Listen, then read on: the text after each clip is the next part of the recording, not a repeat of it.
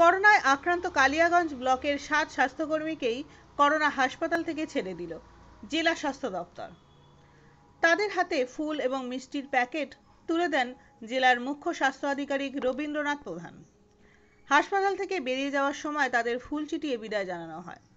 গত তেইশে জুন কালিয়াগঞ্জের সাতজন মহিলা করোনায় আক্রান্ত হয়েছিলেন। আক্রান্তরা প্রত্যেকেই কালিয়াগঞ্জ ব্লক স্বাস্থ্য দপ্তরের অধীনে কর্মরত। আক্রান্তদের মধ্যে আশা এবং এনএনএম কর্মীও রয়েছেন। কালিয়াগঞ্জ ব্লক প্রশাসন এবং স্বাস্থ্য দপ্তরের কাছে করোনা আক্রান্তের খবর পৌঁছাতে আক্রান্তদের প্রত্যেককেই করোনা হাসপাতালে ভর্তি করানো হয়েছিল। তারা প্রত্যেকেই সুস্থ হওয়ায় করোনা হাসপাতাল থেকে ছেড়ে দেওয়া হয় তাদের। তাদের পাঁচজনের করোনা আক্রান্ত রোগী সুস্থ হয়ে যাওয়ায় তাদেরকে হাসপাতাল থেকেই ছেড়ে দেওয়া হয়েছিল।